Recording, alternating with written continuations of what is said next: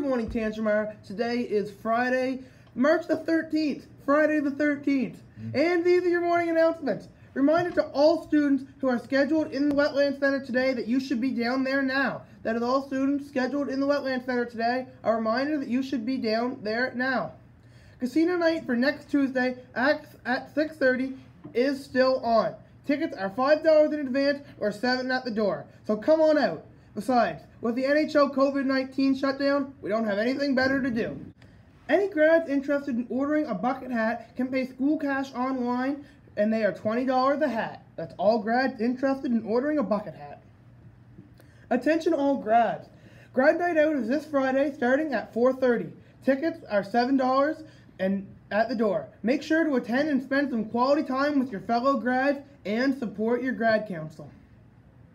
There will be a boys and girls rugby practice next Friday, Friday from 3 to 6. As well, that is this Friday from 3 to 6. There will also be a boys and girls rugby practice next Monday and Wednesday from 5 to 7. All practices are at the school gym.